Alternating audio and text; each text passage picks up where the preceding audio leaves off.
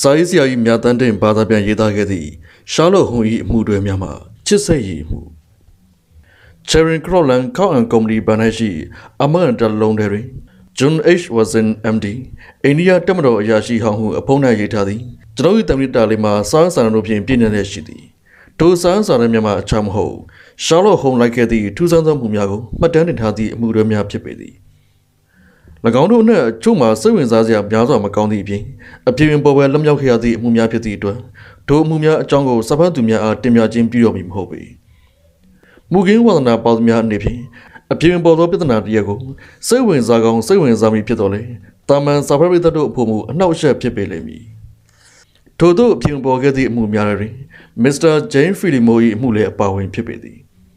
မစ္စတာဖီလီမိုမှာ အပြင်သို့သွားကနေတိုင်းဒီမေးလာခဲ့သဖြင့်အိမ်ထဲသို့ဒီဝင်ယူရမှလောကကြီးမှအစာတုံးပြောက်ကွယ်သွားခဲ့ခြင်းဖြစ်ပေသည်ထို့ပြင်ຫນွေဦးဤတမနတ်နှင်းမြများချစ်ဆိုင်နေစဉ်ကမ်းမထွက်ခွာသွားကပျောက်ဆုံးသွားသည့်အလီစီယာရုပ်သင်္ဘောကလေးအကြောင်းမှလည်းစိတ်ဝင်စားဖွယ်ကောင်းလာပေသည်ထိုအချိန်မှစပြီးထိုသင်္ဘောနှင့်သင်္ဘောသားများအကြောင်းကိုလည်းဘာမှမကြားတော့ကြစိတ်ဝင်စားဖွယ်ကောင်းသောအခြားမှုတစ်ခုမှာနာမည်ကျော်သတင်းစာဆရာနှင့်တနတ်သမားအီဇာဒိုရာဖာဆိုနာ၏အကြောင်းပင်ဖြစ်လေသည် ထိုသူမှာမိจิဘူးတပူကိုဖွင့်လိုက်သည်တွင်သိပ္ပံပညာရပ်တွင်တစ်ခါမှရှောင်တွေ့ခဲ့ဘူးသည့်ပိုးကောင်တစ်ကောင်ကိုတွေ့တဲ့အခါမှာတသက်ကောင်ယူသောသူတစ်ယောက်ဖြစ်လေသည်အပြေပေါ်ခဲ့သည့်ဤမှုတုံမှုအပြင်ထုတ်ဖော်ရေးလိုက်မည်ဆိုရင်အထက်တန်းလွှာအတိုင်းဝန်းတွင်အလှုပ်ရှားဖြစ်သွားမည်ကိုကြီးကိုယ်တော်လှုပ်ဝက်ချက်များပါသည့်မှုများလည်းအများပြားရှိပေသေးသည်ယုံကြည်မှုကိုဖော်ပြကာဤမှုများကိုထုတ်ဖော်ရေးသားဖို့ဆိုသည်မှာတွေးပင်တွေးရသည့်အလုံးမဟုတ်ကြောင်းကိုကျွန်ုပ်အထူးဖော်ပြရန်လိုမည်မဟုတ်ချေ မေဆုကြီးရှာလဟုံအားလသည့်အချိန်များတွင်စစ်ဆေးရန်အတွက်တီးခြားဖယ်တော်ပြီးနောက်ဖြောက်ဖြက်တန်တီတို့ကိုဖြောက်ဖြက်ပြရအောင်မည်ဖြစ်ပေသည်ကျွန်တော်တင်မူအနေနဲ့များဆိုသလိုစိတ်ဝင်စားဖွယ်ကောင်းသည့်အမှုများသာကြံရည်ခဲ့သောကြောင့်ကျွန်ုပ်လေးစားဆုံးပုဂ္ဂိုလ်၏ဂုဏ်သိက္ခာကိုလည်းမထိခိုက်ရလေအောင်ပြင်ဆင်တီးဖြတ်၍အောက်တွင်ပေါ်ပြလိုက်ပါသည်အကျိုးသောအမှုများမှာကျွန်ုပ်ကိုယ်တိုင်ပါဝင်ဆောင်ခဲ့သည့်အမှုများဖြစ်ရုံမကကျွန်ုပ်ကိုယ်တိုင်မျက်မြင်ကိုယ်တွေဖြစ်လျက်အချို့မှမူကျွန်ုပ်ကိုယ်တိုင်ပါဝင်ခဲ့ခြင်းမရှိသည့်အတွက်ကြောင့် ပါဝင်နေလဲသိငယ်သည့်အစိပ်ပိုင်းများသာဖြစ်သည့်အတွက်ကြောင့်၎င်းဂျားသူတယောက်အနေဖြင့်သာကျွန်ုပ်ကရေးသားတင်ပြခြင်းပြုနိုင်ပြီဖြစ်ပါသည်အောက်ပါအကြောင်းများမှာကျွန်ုပ်၏ကိုယ်တွေများမှာထုံနှုတ်ရေးသားတင်ပြလိုက်ခြင်းဖြစ်ပါသည်ဒုနေ့မှာမိုးသက်လီပင်တို့တိုက်ခတ်လျက်ရှိသည်အော်တိုဘာလတမနက်ဖြစ်၍ကျွန်ုပ်သည်အဝိစားလဲနေအိမ်တော်ဖေးတွင်ပေါင်နေသောတစ်ပင်ကြီးမှတဖြုတ်ဖြုတ်ကျွင်သောသူ့ရများကိုငေးကြည့်နေမိသည်တို့တို့တွင်မနက်စာစာရန်တို့ထမင်းစားခန်းသို့ဆင်းလာခဲ့သည် ရှာလော့ခုံမှာအမှုပညာသည်များထုံးစံအတိုင်းပဝင်းကျင်တွင်ပျော်စရာဝမ်းနည်းစရာရှိနေလဲလင်းမြန်စွာတကူးသူတယောက်ဖြစ်လျာဤလိုရာသီဥတုမျိုးတွင်စိတ်ညစ်ညူနောက်ကြည့်နေလိမ့်မည်ဟုကျွန်ုပ်ထင်မှတ်မိပေသည်တော်ရင်အောက်သို့အရောက်တွင်ကျွန်ုပ်ထင်နေခဲ့သို့မဟုတ်ပဲမနက်စာစာရန်အတွက်စပွဲတွင်ထိုင်နေအထူးရှင်နယ်လျက်ရှိသည့်အပြင်တခါတလေတွင်ဖြစ်လေဖြစ်တာရှိသည့်အတိုင်းဥမျိုးလျက်ရှိသည်ဟုပင်ထင်လိုက်မိသေးပေသည်မစ္စတာဟုံအမှုရတဲ့မျက်နှာကတဲပြီးသိတာကိုဗျာဟုတ်တယ်ဗျာဝတ်စင်ကြီး ကောက်ချက်ဆွဲတဲ့ပညာများဟာကုသရတဲ့ယောဂများလိုပဲဗျာတဲပြီးအကူးမြင်မိတာပဲဒါကြောင့်ခင်ဗျားကကျုပ်ရဲ့လူ့ဝတ်ချက်ကိုပြောပြနေတာပေါ့မဟုတ်ဘူးလားဗျာခင်ဗျားပြောတာမှန်တယ်ကျုပ်အမှုတစ်ခုရထားတယ်ဗျာတလလုံးပိန်နေပြီးနေရတာဗျာအခုမှလှုပ်စရာရှားစရာလေးရခဲ့တာပဲဗျာဒါဆိုရင်လည်းအပြင်းပြေစရာလေးများရှိရင်ကျွန်တော်ဘက်ကလည်းလှမ်းလိုက်ပါအောင်ဗျာဝေမျှပြီးပျော်ပေးရတာပေါ့မြင်မြဆဆတော့မဝေနိုင်ဘူးပြောကဲပြီးတော့ဆွေးနွေးကြသေးတာပေါ့ဗျာအခုကျွန်တော်ရဲ့ထမင်းချက်အစ်စ်ကလေးကကြောက်ဥနှလုံးပြုတ်ထားတာဗျာကြောက်ခဲတုံးလေးတွေကြားနေတာပဲ ကြောက်ဥပြုတ်အမာလေးနှလုံးလောက်ကိုစားလိုက်ပါအောင်อืมကြောက်ဥပြုတ်တာမှာသွားတဲ့ကိစ္စကတော့မနေ့ကအိမ်ရှိကန်စပွဲမှာတွေ့တဲ့အိမ်တောင်ရေးကြံနေဆိုတဲ့စာဆောင်လေးတော့ဘာမှသက်ဆိုင်မထင်ပါဘူးတခြားကိစ္စမှပြောနေအောင်တော့ကျက်ဥပြုတ်တဲ့နေရာမှာတော့အချိန်ကိုယူဆိုင်ဖို့လိုတာဟုတ်ဗျာကြီးရတာကတော့ဂျာနယ်တိုင်းမှာပါတဲ့စစ်စလန်ကိုဖိန်တဲ့ကျက်ဥပြုတ်တော်ကိုမေးသွားဟန်တူပါတယ်နိုင်ဒီစိတ်ခန့်ကြာသည့်အခါတွင်ထမင်းစားစပွဲကိုရှင်းလင်းပြီးနောက်ကျွန်တော်တို့နှစ်ဦးသားသည်မျက်ချင်းဆိုင်ထန်ရရှိကြလေသည်အန်စီဝက်ဆင် ရှင်ရင်းသေးကြီးနေဂရစ်ဆင်အကြောင်းခမည်းကြားဝေးလာဗျာအော်အမေရိကန်အထက်လွှတ်တော်အမတ်ကိုပြောရလားဟုတ်တယ်ဗျာတခါတော့ကအနောက်ပိုင်းနယ်မြေတစ်ခုအတွက်အထက်လွှတ်တော်အမတ်ဖြစ်ခဲ့ဘူးတယ်ဒါပေမဲ့တကဘာလုံးကတော့သူ့ကိုရှူရင်းသေးလို့ပဲသိကြတယ်ဗျ။อืมကျုပ်လည်းကြားဘူးပါတယ်။အင်္ဂလန်မှာနေတာတော့ကြားပြီပဲ။သူ့နာမည်ကိုမကြခဏကြားခဲ့ဘူးတာပေါ့လေ။ဟုတ်တယ်ဗျ။လွန်ခဲ့တဲ့9နှစ်လောက်ကဟမ်ရှိုင်းယားနယ်မှာမြေတွေကိုတော်များဝယ်ခဲ့တယ်။အဲပြီးတော့သွေးမသေးရတဲ့အကြောင်းကိုလည်းကြားမှုမှာပေါ့လေ။ အော်ဟုတ်ပြီဗျသတိရပြီ။အဲဒီကိစ္စကြောင့်သူ့နာမည်ကိုမကြခဏကြားဘူးနေတာဘူးဗျ။ဒါပေမဲ့ကျုပ်ကအသေးစိတ်တော့မသိဘူးလေ။ဒိုဂော်ရင်ရှာလော့ဟုန်သည်တိုင်ဂွန်ဘော်ရင်ပြစ်တင်ရင်ထားသည့်တင်းစာများကိုထိုးပြပြီးနောက်အဲ့ဒီမှုကျုပ်စီကိုရောက်လိမ့်မယ်နည်းလေးမှမထင်ခဲ့ဘူးဗျအမှုကနာမည်တော့ကြီးပါတယ်ဒါပေမဲ့သိမခက်လာပါဘူးတရားခံကစိတ်ဝင်စားစရာပုံကိုယ်တူဖြစ်နေသည့်တိုင်တသက်ကန်အထောက်ထားကထင်ရှားလို့ရင်တော့ဘာမှမတတ်နိုင်ပဲဖြစ်နေတာပေါ့ဗျာပလိတ်ကလည်းအဲ့ဒီတိုင်းပဲယူဆတယ်အခုတော့ဝန်ချက်စတာတရားလုံးကိုလွှဲလိုက်ပါပြီ လိုက်ဆိုတော့လိုက်ရမှာဗျာကျေးဇူးအတင်ခံမလို့တော့မဟုတ်ပါဘူးလေနောက်ထပ်အချက်လက်အသစ်တွေရှာတွေ့ရင်တွေ့မတွေ့လို့ရှိရင်တော့ကြုံမှုတွေအတွက်တဲပြီးမျောလင်းစရာမရှိပါဘူးခမည်းမှုတွေဟုတ်လားအော်ဟုတ်သားပဲဗျာခမည်းကိုပြောဖို့မေးနေတာကျုပ်ကလည်းခမည်းတို့ပဲဗျာဇလန်းကိုအဆုံးကနေပြန်ပြီးပြောတဲ့အကျင့်တွေရနိုင်ပြီဗျာဒီတော့အကောင်းဆုံးကတော့ဗျာဒီစာကိုပဲအရင်ဖတ်ကြည့်စမ်းပါဦးလေရေးအကြည့်ပြထားသောစာမှာအောက်ပါတိုင်းဖြစ်လေသည် Claret Hotel အောက်တိုဘာ3ရက် မိတ်ဆွေကြီးမစ္စတာဟုံးခမ ्या ကဘာပေါ်မှာကျွန်တော်တွေ့ဦးသည့်မိန်းမများအနက်အမြင့်မြတ်ဆုံးမိန်းမတို့စတိုင်တို့သွားမိကိုကျွန်တော်ထိုတိုင်းလက်ပိုက်ကြည့်နေနိုင်ပါအဖြစ်ပြအားလုံးကိုကျွန်တော်ရှင်းမပြတတ်ပါရှင်းပြရင်လည်းမကြိုးစားလို့ပါသူတို့တွင် Mrs. Fanner သည်အပြစ်ကင်းကြောင်းကိုမူကျွန်တော်ချွင်းချက်မရှိယုံကြည်ပါသည်အချက်လက်များကိုမိတ်ဆွေကြီးသိပြီးဖြစ်ပါသည်မိတ်ဆွေကြီးမသိရင်လည်းလောကကြီးတွင်တည်သူတယောက်များရှိမိမထင်တော့ပါဤသို့မတရားသဖြင့်ဖြစ်နေသည်ကိုမြင်ရသည့်အတွက်ကျွန်တော်ပို၍ခံမြင်မိခြင်းဖြစ်ပါသည် Mrs. Vanna သည်ရင်ကောင်းတကောင်ကိုတော်များမတက်ရလောက်အောင်စိတ်ထားနူးညံ့သူဖြစ်ပါသည်မနက်ဖြန်7နာရီတွင်ကျွန်တော်လာခဲ့ပါမည်ထိုကောင်ရင်စွန်တော်ကြီးကအမှောင်ကိုခွင်းမင်းနိုင်လိမ့်မည်ဟုကျွန်တော်ယုံကြည်မိပါသည်ဒုပဒနာကိုဖြည့်ရှင်းနိုင်ပြီးတဲရုံစားမှာကျွန်တော်မသိဘဲနဲ့ကျွန်တော်ထံတွင်ရှိကောင်းရှိပါလိမ့်မည်မြည်တို့ဖြစ်စေသူ့ကိုယ်သာကယ်တင်ပေးနိုင်ပြီဆိုပါကကျွန်တော်သိသမျှကျွန်တော်ရှိသမျှကျွန်တော်ဖြစ်သမျှကိုကျွန်တော်ကြီးကြတယ်လို့အသုံးချနိုင်ပါသည်ယခုအမှုဟာကျွန်တော်ကြီးကအစွမ်းကုန်စူးစမ်းပေးစေလိုပါသည်သစ္စာရှိစွာဖြင့် genericalism မနက်စာစားပြီးနောက်တောက်လေးရှိသောစေးစုံကိုဖွာလိုက်ပြီးနောက်ရှာလော့ဟုန်ဒီစေးတယ်မှာပြာကိုခောက်ချလိုက်ကနောက်ထပ်စေးစုံကိုထည့်ထည့်ရှိရမှာစားရတော့အဲ့ဒါပဲဗျအခုအဲ့လူကိုကျုပ်ကစောင့်နေတာအဖြစ်အပျက်ကိုသိချင်တော့သတင်းစာတွေကိုလိုက်လံရမှာပဲသတင်းစာတွေထဲမှာလည်းခမရလိုက်ရှာဖို့အချိန်ရမှာမဟုတ်ဘူးဒီတော့ခမရစိတ်ဝင်စားမယ်ဆိုရင်ကျုပ်ကအတူချုပ်ပြီးပြောပြမယ်အဲ့ဒီကင်ပစင်ဆိုတဲ့လူကကမ္ဘာပေါ်မှာအချမ်းသာဆုံးလူတစ်ယောက်ပဲဗျ ကျုပ်ဒီလောက်ပြောမယ်ဆိုရင်လူကအတော့ကိုစိတ်ထားကြမ်းတမ်းတယ်ကြောက်စရာကောင်းတယ်ဗျကယ်ဖ်ဆင်ကအခုကိစ္စမှာတောက်ကုန်ဖြစ်သွားတဲ့အဲ့ဒီမျိုးသမီးကိုလက်ထပ်ခဲ့တာဗျသူနဲ့ပတ်သက်လို့ကတော့သူကအသက်ခက်ကြီးကြီးဆိုတာကလွယ်ပြီးကျုပ်ဘာမှမသိဘူးဒီထဲမှာကလီနီယာကိုစာသင်ပေးတဲ့ဆီယမကျော်လေးတယောက်ကလည်းရှိတော့သူကမြကန်ဆိုးရလို့ပဲဆိုရမှာပေါ့ဗျာအဲ့ဒါတွေတော့ထားပါတော့ဒီတော့ဒီအဖြစ်ဖြစ်နဲ့ဆိုင်တာကသူတို့သုံးဟောပဲရှိတယ်အခင်းဖြစ်ပွားခဲ့တဲ့နေရာကတော့ရှေးအင်္ဂလိပ်ခေတ်တုန်းကတမန်ဝင်ခဲ့တဲ့ရှေးကြီးတော့အင်ကြီးမှာဗျာဖြစ်ပုံကတော့ဒီလို အဲ့ဒီလူရဲ့မိန်းမဟာအင်းကြီးနဲ့မိုင်ဝက်လောက်ဝေးတဲ့နေရာမှာခေါင်းမှာတနက်တရာနဲ့တင်တာကိုညာကြီးအချိန်တုန်းကတွေ့ရတယ်သူ့ကမှညဝတ်စုံကိုဝှက်ပြီးရှော့ဆောင်တစ်ထည်ကိုခြုံထားတယ်ဗျာအနီးနားမှာလက်နက်ဆိုလို့လည်းဘာမှမတွေ့ရဘူးလူသမှုနဲ့ပတ်သက်လို့အနီးနားတစ်ဝိုက်မှာတဲလုံစာတို့ဘာလို့လည်းမတွေ့ရဘူးအနားမှာဘာလည်းနဲ့မှမရှိဘူးနော်ဟန်စီအဲ့ဒါကိုသတိပြုပါအဲလူသမှုကျုံတဲ့အချိန်ဟာညပိုင်းလို့ယူဆရတယ်အလောင်းကိုအဲ့ဒီအနီးနားတစ်ဝိုက်မှာရှိတဲ့စံဆောင်တစ်ယောက်ကနေပြီးစက်နိုင်လောက်မှတွေ့လို့ဆိုင်ရကိုအကြောင်းကြားတယ်ဗျာ ပလိနဲ့ဆရာဝန်လာစစ်ပြီးအလောင်းကိုအိမ်ကိုပြန်သွားခဲ့ကြတယ်အဲစီတိတ်များအချင်းချုံလို့နေပြီလားမသိဘူးကျုပ်ပြောတာရှင်းနေမဟုတ်လားရှင်းပါလေဗျာမစ္စတာဟုံးကြီးဒါနဲ့နေစမ်းမအောင်စာပြတဲ့ဆရာမလေးကိုဘာဖြစ်လို့တန်တရားဖြစ်ရတာလဲဗျာဒီလိုလေးဗျာအိုင်စီပရမအပြင်တိုင်းရတဲ့ထောက်ထားတွေ့နေရလို့ပဲသူ့အဝတ်ပြီးတော့အောက်ဆုံးတက်မှာရန်တော့တောင်းလွတ်နေတဲ့တနက်လက်ကိုတွေ့ရတယ်ရန်တော့ကိုစစ်ကြည့်တဲ့အခါမှာလဲတေသူရဲ့ကိုမှတွေ့ရတဲ့ရန်တော့နဲ့သွားပြီးတူနေတယ် ထို့သူပြောဆိုပြီးနောက်ရှာလော့ဟုန်သည်အတန်ကြာရက်နေပြီးမှအဝတ်ပြီးတော့အောက်ဆုံးတက်ဟုတလုံးချင်းရွတ်ဆိုလျက်ရှိလေသည်ဒုတော်တွေကရှာလော့ဟုန်သည်မြေသူများမပြောတော့ဘဲနဲ့အတန်ကြာများတိတ်ဆိတ်စွာစဉ်းစားလျက်ရှိရရာကျွန်တော်မှလည်းသူ့ကိုနှောက်ယှက်ရမသိသည့်အတွက်ညံ့ရွေ့နေမိတော့သည်ဒိုးစရင်ရှာလော့ဟုန်သည်ရုတ်တရက်လှုပ်ရှားလာကနေဟုတ်တယ်ဗျအဲ့မှာတွေ့ရတာပဲအထောက်ထားကတရက်ကြီးဖြစ်နေတယ်အေးလေဂျူရီလူကြီးနှစ်ယောက်ကတော့အဲ့ဒီတိုင်းပဲယူဆရတာပဲ မျိုးသမီးရဲ့ကိုယ်မှလည်းအဲ့ဒီနေရာမှာတွေ့ဖို့ချိန်ထားတဲ့စာပြဆရာမလေးရဲ့စာကိုတွေ့ရတယ်ဗျအိုင်စင်းဘလို့သဘောရတယ်လေနောက်တစ်ခုကရာဇဝတ်မှုကျူးလွန်တဲ့ရည်ရွယ်ချက်အတက်လွတ်တော်အမတ်ဂစ်ဆင်ဆိုတဲ့လူကလူဖြောင်းနေဗျအကယ်၍မယားကြီးတည်သွားလို့ရှိရင်သူ့နေရာကိုစက်ခံရမယ့်သူကဘယ်သူရှိနိုင်မလဲအခုကလေးကဂစ်ဆင်ကိုယ်တိုင်အရေးပေးခံရတဲ့စာပြဆရာမလေးပဲဖြစ်ရမှာပေါ့လေ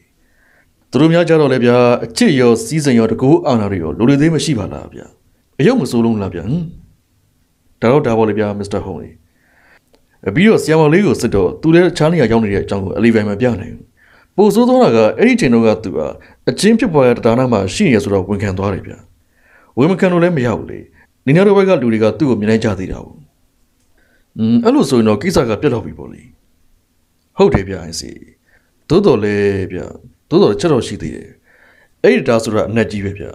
ကျူးဝင်းနေပေါက်နေတဲ့ကန်ကျင်းလေးတစ်ခုပေါ်ကိုဖြတ်ကူးရထားပဲ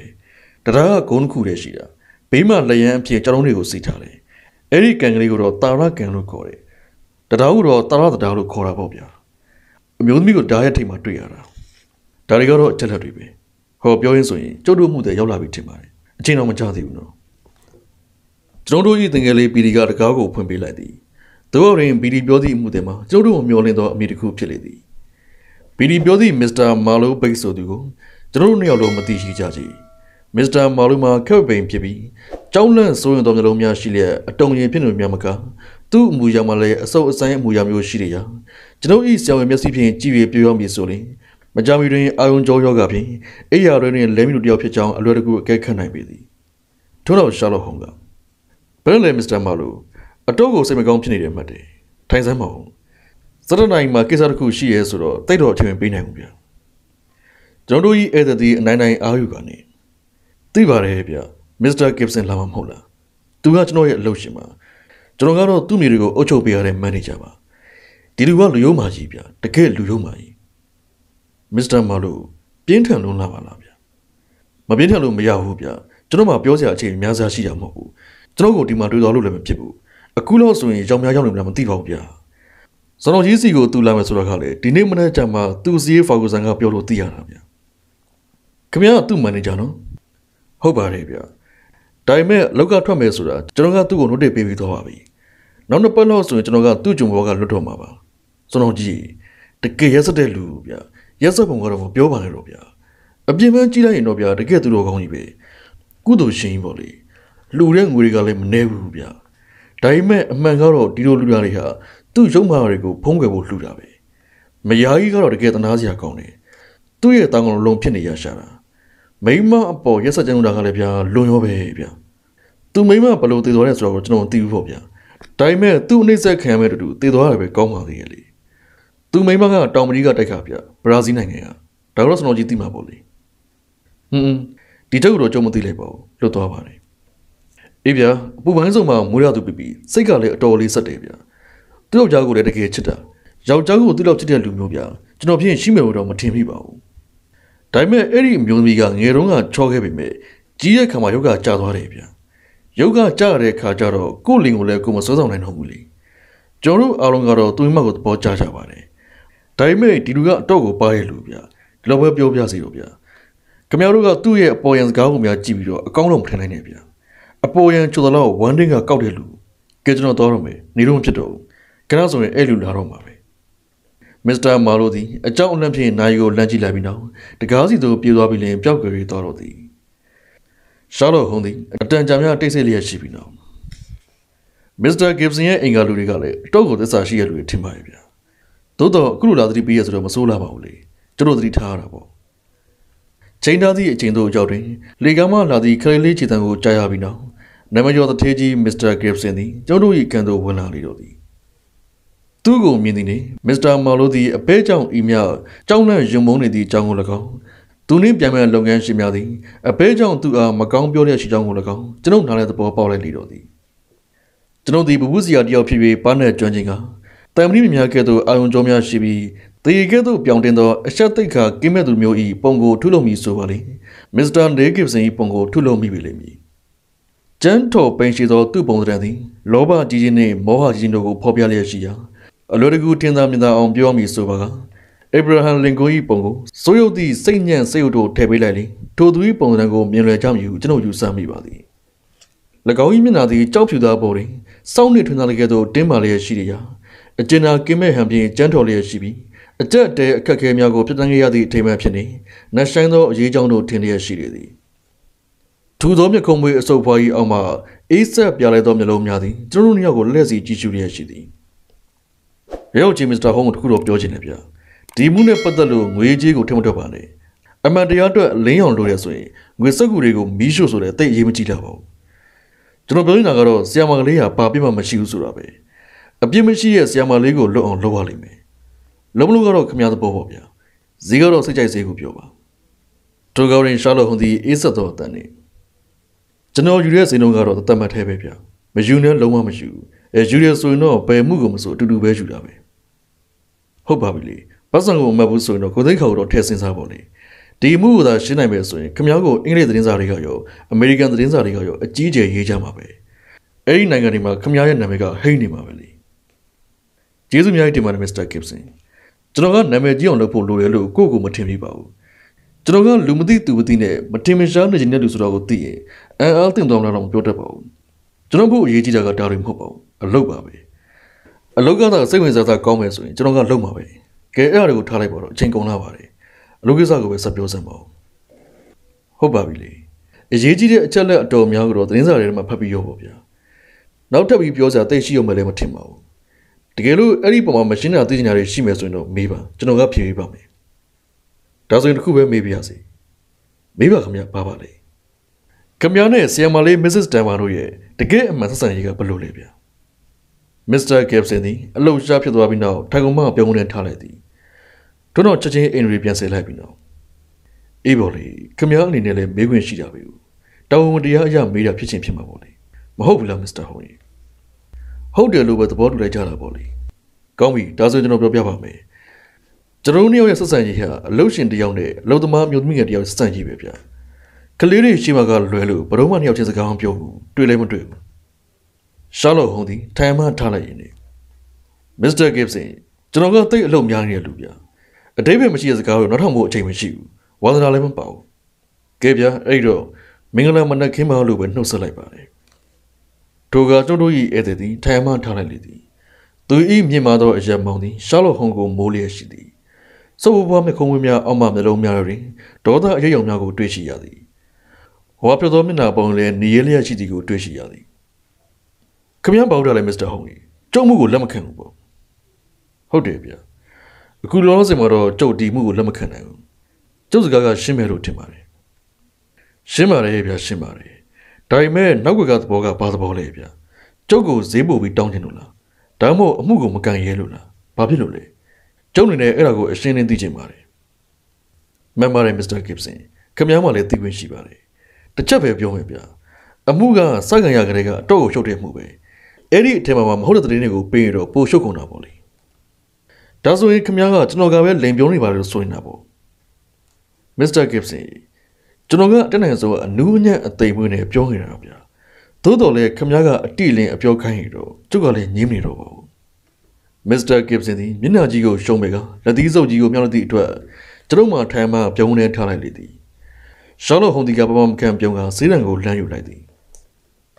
အစူညံမလုပ်ပါနဲ့မစ္စတာဂစ်ဆင်မနက်စာစားပြီးကစားဆိုရင်ဘလောက်ပဲသေးဝဲတဲ့ကိစ္စကိုပြောပြောပြတက်ပြီးအဆင်ပြေခြင်းဒီတော့မနက်ခင်းမှလမ်းကလေးတစ်ပတ်လောက်ရှောက်သွားပြီးလေကောင်းလေတန်းရှူလိုက်အောင်ခေါင်းရည်ထားပြီးစဉ်းစားမယ်ဆိုရင်ခမည်းတော်အများကြီးအကျိုးများပါတယ်ဗျာတထေးကြီးမစ္စတာဂစ်ဆင်သည်သူ၏ဒေါသကိုအနိုင်နိုင်ချုပ်တီး၍ထားလေသည်ခန့်စောကမီတော်မီလီယံကဲ့သို့တရှူးရှဲဖြစ်နေသည့်မစ္စတာဂစ်ဆင်သည်တမင်လောက်အတွင်းအေးဆက်၍ပမာမခန့်ရှိသောမူရာကိုပြောင်းသွားသည့်အတွက် ဤမြအမြန်ဆန်ပြောင်းလဲခြင်းကိုကြည့်၍အံ့ဩမိသေးတော်သည်ကောင်းပါပြီမစ္စတာဟုံးကြီးဒါတော့ခမရသဘောပေါ့လေခမရအလုပ်ကိုဘယ်လိုလုပ်ရမလဲဆိုခမရပဲသိမှာပေါ့လေခမရထက်အားကောင်းပေးဆိုလို့ရေးတော့ကျုပ်ကဥချိုးခဲ့ပြီကျုပ်ကဒီလိုပြောရလို့တယောက်မှမရှိသေးဘူးပြောတဲ့သူကိုလည်းတတ်တာခွင့်ပေးခဲ့ဘူးဒိုကရှာလော့ဟုံကပြုံးနေတယ်ကျုပ်ကအဲ့လိုပြောရတဲ့တွေကလည်းများလာပါပြီကျုပ်ကတော့ဒီနေရာမှာပဲရှိမြဲရှိနေစေပါပဲကဲ good morning ပါ Mr. Gibson ဒီလောကကြီးမှာခမည်းလာရမယ့်အရာတွေအများကြီးကြံသေးတယ်ဗျာကျွန်တော်တို့၏ဧည့်သည်သည်စုညံစုညံချင်းထွက်ခွာသွားပြီးတော့သည်သူတော်ရင်ရှာလို့ဟုံပါမှုမျိုးလုံးများကိုမေးပြီးမြင့်ချက်ကိုကြည်နေဈေးတံကိုတိတ်ဆိတ်စွာဖွာလဲရှိနေသည်နောက်ဆုံးတွင်ရှာလို့ဟုံကအိုင်စီဘယ်လိုများထင်ပါသလဲဗျာဒီလူပုံကိုကြည့်ရတာကတော့ဗျာသူ့လမ်းမှာအတားစီးမှန်သမျှကိုဖယ်ရှားသွားမဲ့ပုံပဲဗျာသူမိမဟာလည်းသူ့သွားမဲ့လမ်းမှာအတားစီးဖြစ်နေပြီးသူ့အတွက်မနစ်သက်စရာဖြစ်နေတယ် သူ့ရဲ့မန်နေဂျာမာလူကလည်းပြောသွားတယ်ဆိုတော့ကျွန်တော်တင်ပြောမယ်ဆိုရင်ဟုတ်ပြီအိုင်စီကျုပ်ကလည်းအဲ့လိုပဲထင်ပါတယ်နေစမောင်မစ္စတာဟုံကြီးသူနဲ့စာပြောတဲ့ဆီယမာလေးရဲ့ဆက်ဆံရေးကဘယ်လိုလဲဗျာခင်ဗျားကသူတို့အကြောင်းတွေကိုဘယ်လိုလုပ်သိနေရလဲအဲ့ဒါကတော့ဖိနေတာဗျာဘယ်မှသိပါမလဲသူ့စာတွေကလေတံကအလွန်ရင်းနေပြီးစိတ်နှောက်ကိုပါရေးရတဲ့စာဗျာဟန်ဆောင်တွေပါလုံးဝမပေါ့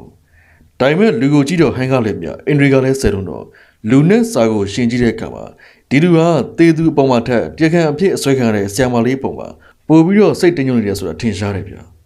အမှုမှန်ကိုသိချင်သူတို့သုံးရဲ့တကယ်အမှန်ဆက်ဆံရေးကိုကျတို့ကသိဖို့လိုတယ်ဒဒါမှအဖြစ်မှန်ပေါ်လာလိမ့်မယ်ဒါကြောင့်မဲကျုပ်ကတေတိုကြီးပြောချတာခမည်းမြင်နေမဟုတ်လားအဲ့ဒီလူဆွဆွကိုခုံနေတာပဲလေ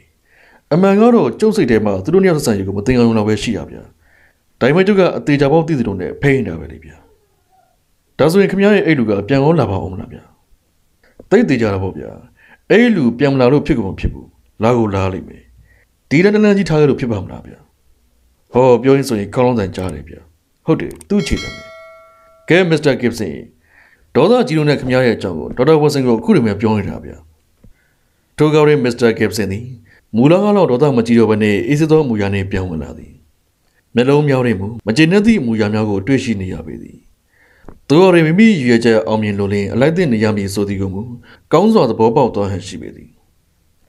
မစ္စတာဟုံးကြီးကျွန်တော်ပြန်ပြီးစဉ်းစားကြည့်ရဗျာခမည်းပြောတဲ့စကားတွေကိုကြားတော့ကြုတ်လဲမှုန်ထူသွားတာပဲအမှန်ကတော့ခမည်းအနေနဲ့မင်းတဲ့နဲ့မေခွန်းနေပဲလေကျွန်တော်အမှန်တိုင်းပြောပါမစ္စတာဟုံးကြီး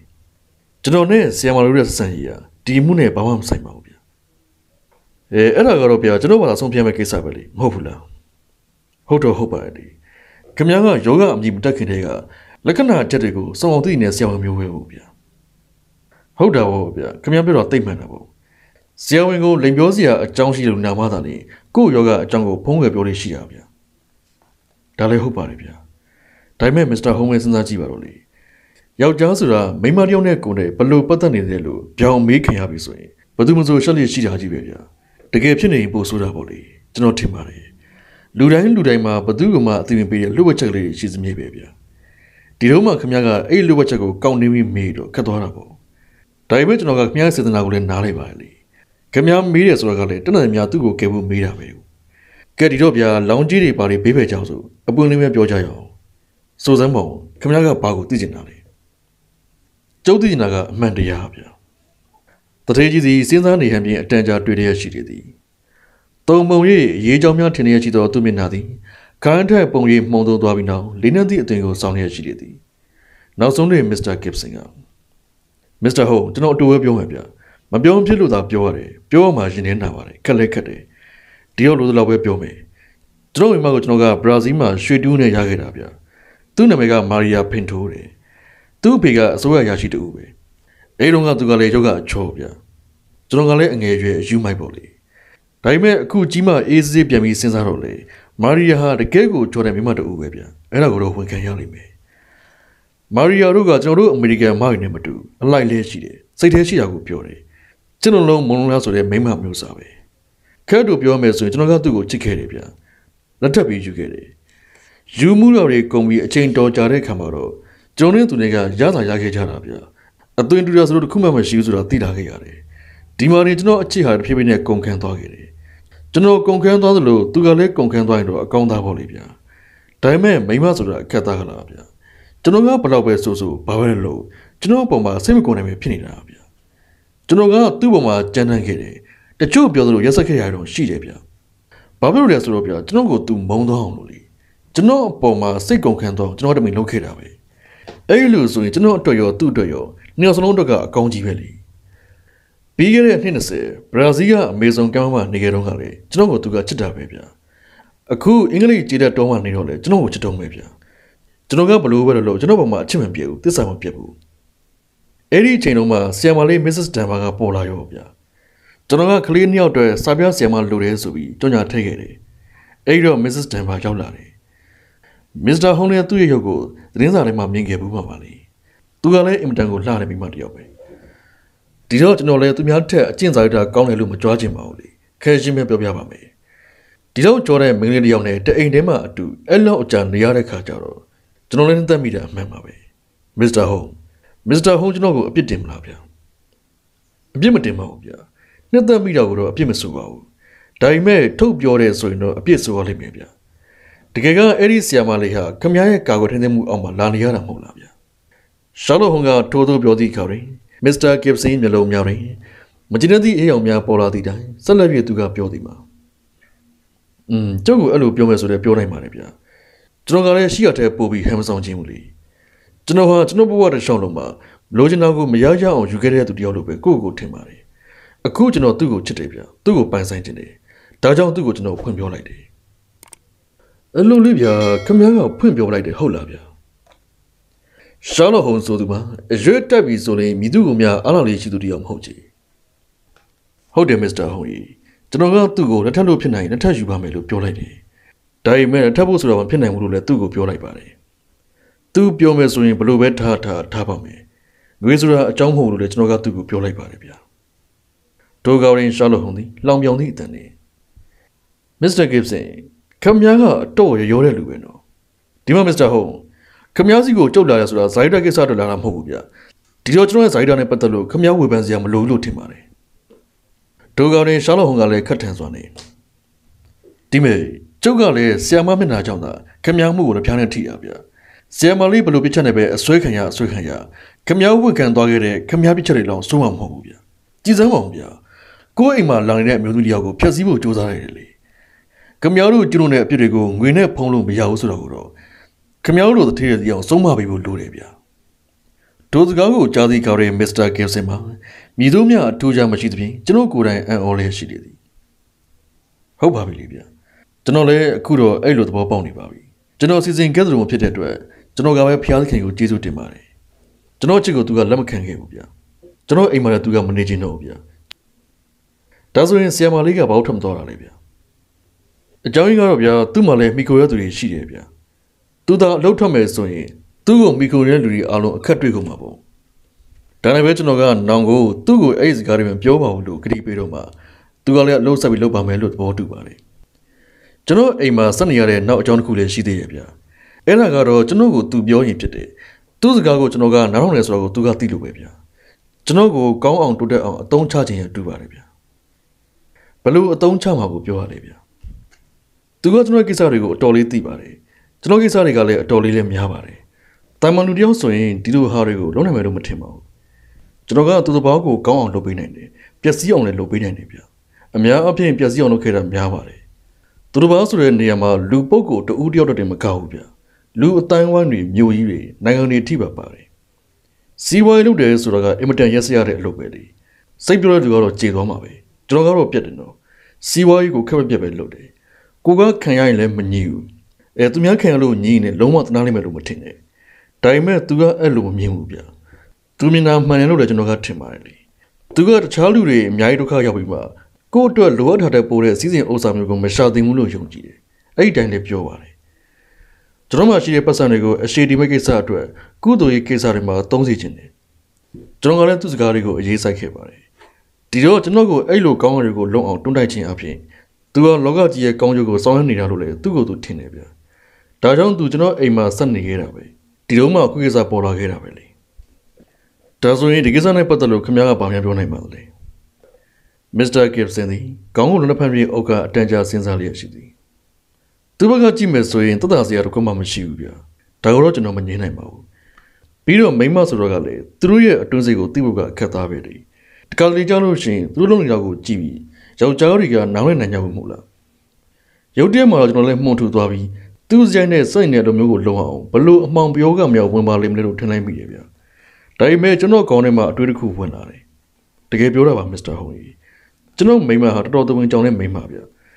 လူတွေမှာကိုခန္ဓာအဖြစ်သဝင်ကြောင်တာရှိတယ်လို့စိတ်တဲ့အရာသဝင်ကြောင်တာရှိတတ်ကြတယ်ဗျာကျွန်တော်မိမဆိုရင်ကိုခန္ဓာအဖြစ်သဝင်ကြောင်စရာအကြောင်းမရှိသည့်တိုင်စာပြဆရာမလေးကကျွန်တော်စိတ်ကိုလွှမ်းမိုးနေတယ်ကျွန်တော်အပေါ်မှာဩဇာလွှမ်းနေဆိုကိုသိတယ်ဗျာ ဆရာမလေးကျွန်တော်ပုံမှာဩဇာညောင်းတာဟာကောင်းသောဩဇာညောင်းခြင်းဆိုပေမဲ့သူ့မိမတော့ဘယ်တူမလဲဗျဒီတော့ရင်ထဲမှာဘလောင်ဆူနေတာပေါ့လေအဲ့ဒီထဲမှာစပိန်သွေးကလည်းပါတယ်ဆိုတော့ပို့ဆိုးတာပေါ့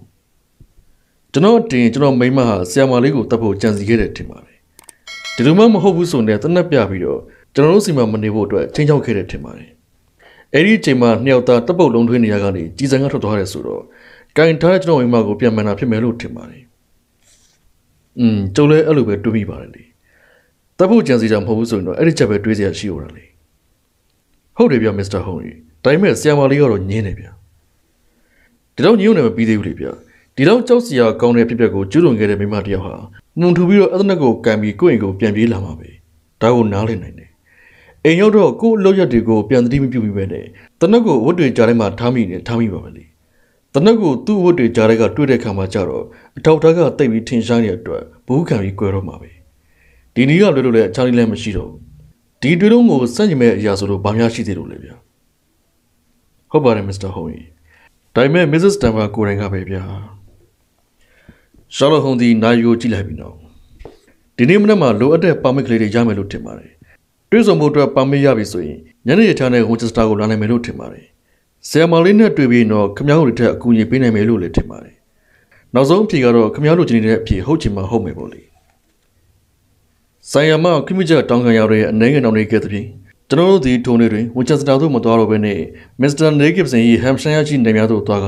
အချင်းဖြစ်ပွားရာတာတာအနည်းတို့တွားရောက်ကြည့်ရှုလေသည်မစ္စတာဂစ်ဆန်မှာထိုနေရာသို့လိုက်ပါခြင်းမရှိသဖြင့်ကျွန်တော်တို့သည်ထိုမှုကိုစတင်စစ်ဆေးသည်ထိုဒေသမှပလိတ်စာတင်ကိုဗင်ထရီနှင့်၎ င်းနေရာသို့တွားရကြည့်ရှုကြလေသည်စာတင်ကိုဗင်ထရီမှာအရက်အရှိအပိန်ပါပြိုသောအသားရည်တို့ရှိပြီးစကားပြောလေမပွင့်ပွင့်ပြောဆိုလေရှိသည့်အတွက်သူ့ကိုကြည်ရသည်မှာစကားကိုအနည်းနဲ့များနဲအောင်ပြောပြီးအများကြီးတိတိကြိုက်ဖမ်းလျက်ရှိနေသည်တခါတခါလည်းဘာမှအရေးမကြီးသောအကြောင်းလေးများကိုပင်အလွန်အရေးကြီးသည့်ကိစ္စတွေဖွဲ့လေသံကရိုတိုနှင့်ပြောဆိုလေရှိသည်ထို့သောကြိုက်ပေးသည်မှာလွယ်လိမ့်မူစာသင်ကိုဗင်ထရီမှာယောသားကြီးမွန်သောသူတစ်ယောက်ဖြစ်ပြီး ချိုရင်းချက်ရှိလျင်ပူပူနေနေဝန်ခံတတ်ပြီးအလိုအချင်းနဲ့အကူအညီပေးသူတစ်ယောက်လည်းဖြစ်လေသည်ဆရာကြီးကျွန်တော်ကတော့ဗျာစကောလန်ဟိကလူလာတဲ့ဆရာတို့လာတာပိုပြီးသဘောကျတယ်ဗျာတကယ်လို့စကောလန်ရက်တာလာမယ်ဆိုရင်အမှုကပေါ်သွားမယ်ဆိုရင်တော့သူတို့ကပဲနာမည်ရမှာဗျနာမည်ပြက်စရာရှိရင်ကျွန်တော်တို့ကပြက်ကြံရခဲ့မှာစတော်ကြီးကတော့ရှင်းနေတယ်ဒီလိုနာမည်ကောင်းတွေပါလေယူရလေးမရှိဘူးလေဗျတို့ကရှာလော့ဟုံကဒီကိစ္စတွေမှာကျုပ်လုံးဝမဝင်ပါဘူးအကယ်၍ဒီမှုကိုဖြည့်ရှင်းနိုင်ခဲ့သည့်တိုင်အောင် ကျုပ်နာမည်ကိုထုတ်ဖော်ပေးဖို့မလိုပါဘူးဗျတို့စကားကြောင့်စာသင်ကိုဗင်ထရီမှာအသည့်အတားကြီးစစ်တတာရသွားဟန်ရှိနေသည်ဟုတ်ပါရဲ့ဗျဇုံလုံးကြီးကတော့စိတ်ထားပြေဝတဲ့ပုဂ္ဂိုလ်ပါပြီးတော့စနိုကြီးရဲ့မိတ်ဆွေကြီးဒေါက်တာဝက်ဆင်ဆိုရင်လည်းစိတ်ချတဲ့ပုံကိုကြီးတို့ကျွန်တော်ကနားလိုက်ပါတယ်။တောင်းရင်လာရင်ကျွန်တော်မေကွန်းတစ်ခုတော့မေးချင်ပါတယ်ဗျာ။အဲ့ဒီမေကွန်းကိုလည်းစနိုကြီးကလွယ်လို့ဘသူ့ကိုမှမမေးပါဘူး။တိုးတိုးပြောဆိုကနေစကားလုံးများကိုပါဇက်မမထွက်ရဲသည်နဲ့ပဝန်းကျင်ကိုလှမ်းကြည့်လျက်ရှိသည်။ အတန်ကြာသောအခါတွေမှာ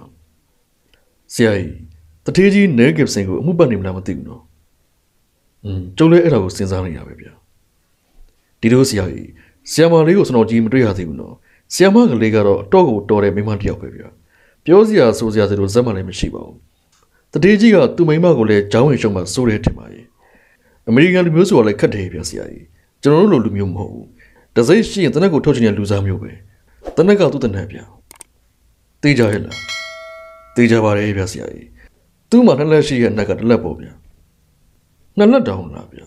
ဒါဆိုတစ်လက်ကပါမှာလေ။အိုဗျာတတိစီမှာဆိုလက်နက်တွေကပြည့်လို့ပဲဗျာ။သူ့အိမ်မှာအမျိုးမျိုးရှိတယ်။နောက်လက်ကတော့ကျွန်တော်လည်းမတွေ့သေးပါဘူး။ဒါပေမဲ့သူတတာကတော့ဗျာနှစ်လက်ထည့်ဖို့တော့တာပဲဗျာ။ဒါဆိုရင်စင်လူနှစ်လက်ဆိုရင်ကျန်တဲ့လက်ဟာအဲ့ဒီတာနဲ့ကိုက်ရမှာပေါ့လေ။ဟုတ်ပါတယ်ဗျာ။ဟိုရောက်နေစရာကြည့်လိုက်ပါဦး။အိမ်မှာတွေ့တဲ့တဲ့တွေအားလုံးကိုကျွန်တော်တို့ပြထားပါတယ်ဗျာ။ อืมနောက်တော့ကြည့်ရသေးတာပေါ့လေ။အခုလောလောဆယ်တော့အချင်းပြရနေရာကိုသွားကြည့်ချင်ပါတယ်။ကျွန်တော်တို့စကားပြောနေသည့်နေရာမှာကျေးရွာပရိဌာနအဖြစ်အသုံးပြုသည့် Southern Coventry တိုက်အရှိတွင်ဖြစ်သည်။ပေါင်းမြတ်တို့6တွေ့စားပြုသဖြင့်နီမောင်းညွာသောဖုံးစိုးကုန်းကြီးကိုဖျက်ပြီးမိုင်ဝက်ခန့်ရှောင်းမိသည့်အခါတွင်ကျွန်တော်တို့သည်သေးကြီးနာမည်ထဲသို့ဝင်သည့်ဘေးမလွယ်ပေါက်တကားတစ်ခုသို့ရောက်ရှိသွားကြတော့သည်။တကားပေါက်ကလေးတိုင်းဝင်လာခဲ့လျင်ကောင်းစွာထိမ့်သိမ်းထားသည့်တတော်များကိုတွေ့ရပြီးအဝေးကွန်မြူနတီပေါ်တွင်ကျူတာပုံစံတစ်ဝက် ဂျော်ဂျီယန်ပုံစံတစ်ဝက်နှင့်ဆောက်လုပ်ထားသည့်တိုက်ခံအိမ်အကြီးတစ်လုံးကိုလည်းသူ့ပင်များအကြမ်းမှမြင်ရလေသည်။ကျွန်တော်တို့၏ဘေးရမှုကျူပင်တို့ပေါက်တဲ့ရှိသည့်ကန်ရှည်တစ်ခုရှိပြီလေထိုကန်၏အလေကောင်ခင်းချင်းနေရာသို့ရောက်တွင်အိမ်ဝင်လက်မဖြင့်အသုံးပြုသည့်ကြောက်တားလေးတစ်ခုကိုတွေ့ရှိရသည်ထိုဒါဘေးတစ်ဖက်တစ်ချက်တွင်မူရေအိုင်သည်ပြန်၍ကျင်မြဲကျဲသွားလေသည်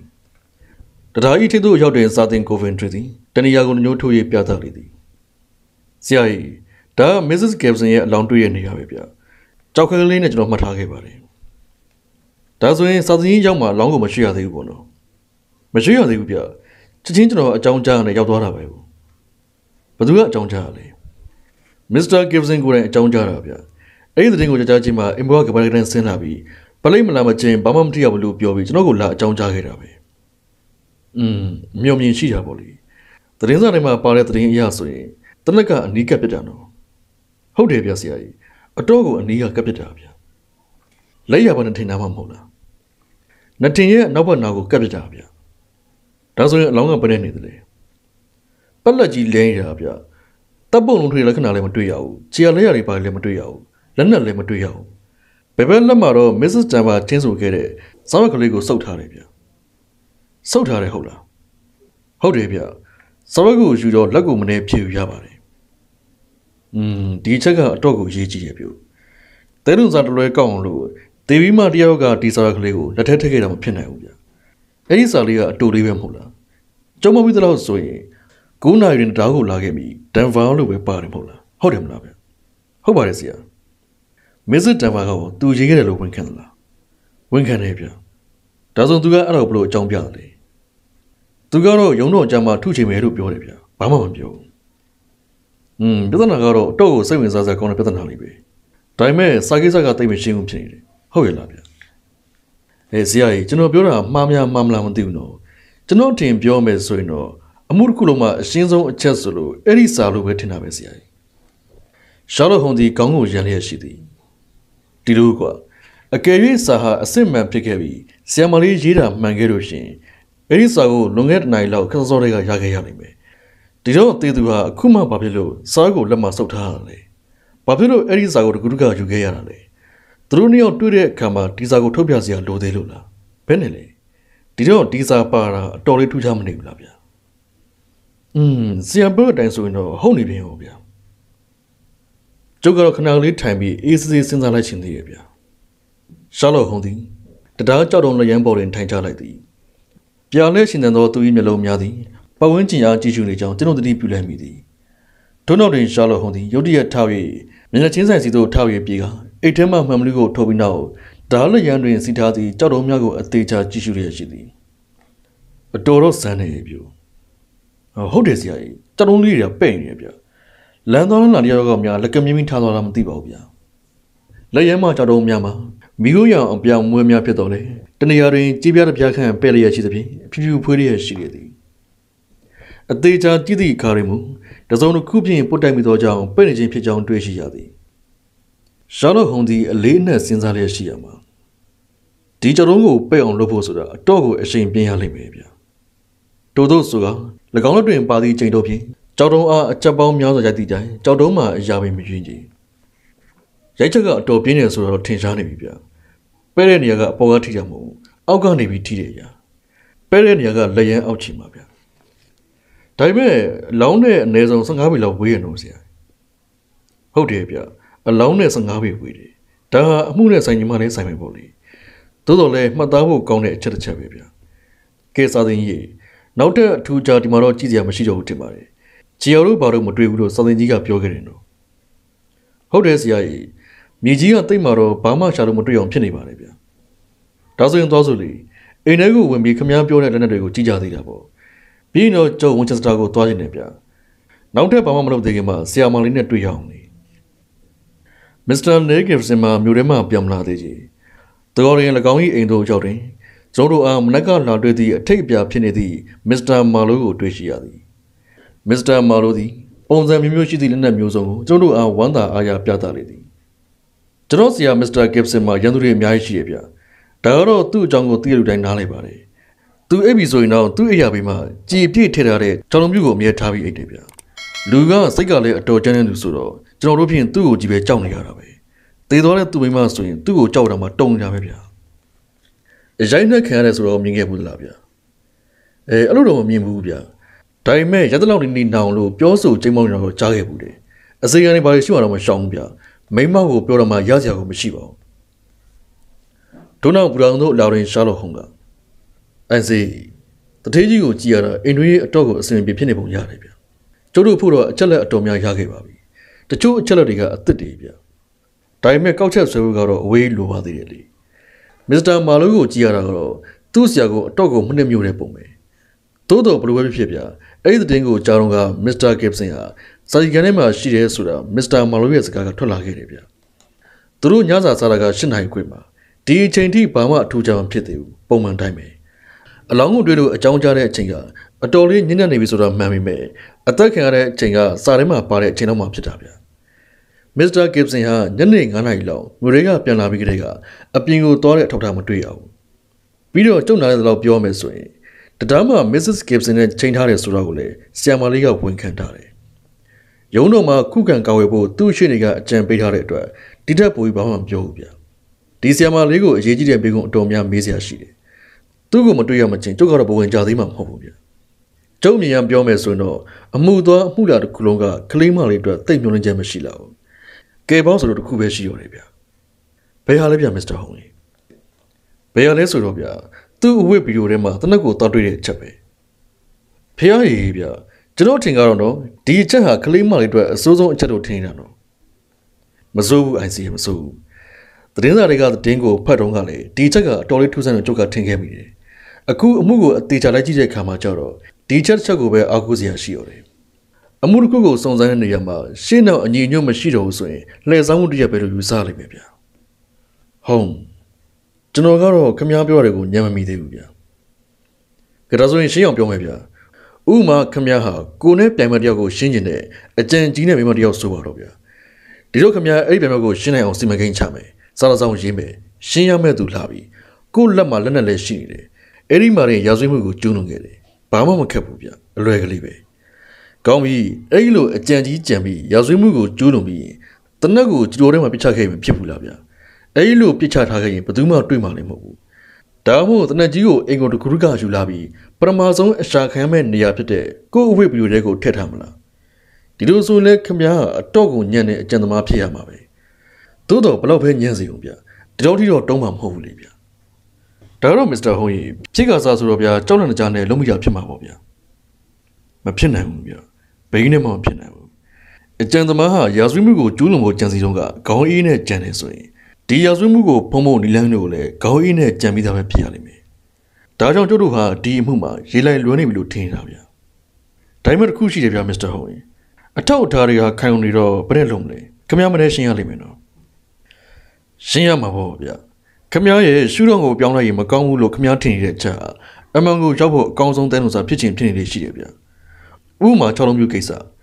ဆီယမာလီပြောတာအမှန်ပဲဆိုတဲ့ရှုထောင့်ကနေကြည့်အောင်6လုံးပြကသူ့ဗီဒီယိုတွေကိုရောက်နေပြီ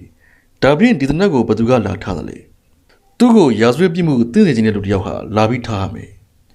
ကောင်းပြီဒါဖြင့်အဲ့လူဟာတကယ်ရာဇဝတ်ကောင်ဖြစ်ရတော့မယ်ကြိုးပြောတဲ့အတိုင်းတွေးမယ်ဆိုရင်အပြေကအဲ့လိုထွက်လာလိမ့်မယ်ဗျမဟုတ်ပြီလား